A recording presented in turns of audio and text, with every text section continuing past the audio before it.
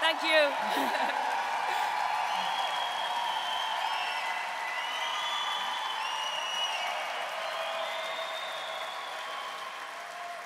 well, you all seem to be having a nice evening.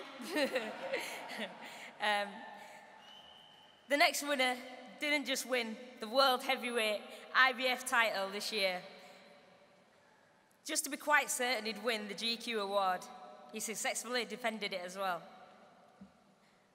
Though it was unusual for the big man to go, over, to go seven rounds, making it only his second time in his career anyone has been, has been able to survive 20 minutes in the round with him. The bad news is for his rivals, though, he says he's only half as good as he could be. I'm honoured to announce the GQ Sportsman of the Year, the heavyweight champion of the world, Anthony Joshua. Thank you very much for the warm welcome. And uh, I'd like to thank Dylan and Paul for this great opportunity, Hugo Boss as well. I'd like to thank my team on table eight, and uh, most definitely my team on table eight. It wasn't so long ago that I was hustling tickets to get in here with a couple of my pals, and now I'm up here accepting the award.